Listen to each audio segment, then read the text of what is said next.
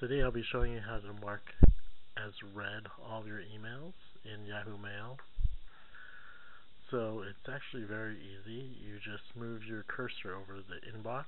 You can see it says 55 and you right click on there and you would just select to mark emails as read with the left button of your mouse and that's it.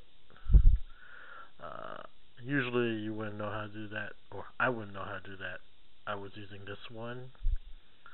It might mark all of them, but it might not. It just does whatever's on the screen, and if you keep on scrolling, it'll keep on going down, and so it might miss some of the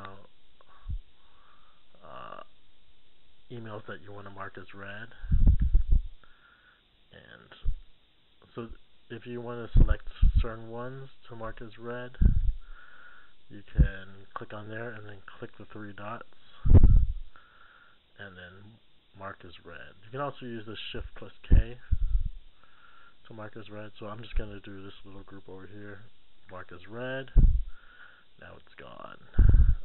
And again, if you want to mark as read everything, just right click on inbox over here with the cursor and then left click over mark emails as read.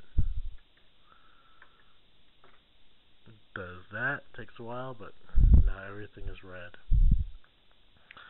Now, if you want to mark it as, let's say you want to mark some as unread, it's this dot over here right next to the subject header. So if I click on there, it makes it as unread. Whereas I could also mark and click on the three dots and mark as unread. So there are more ways to do it. I didn't even know about the blue dot to mark as unread until yesterday.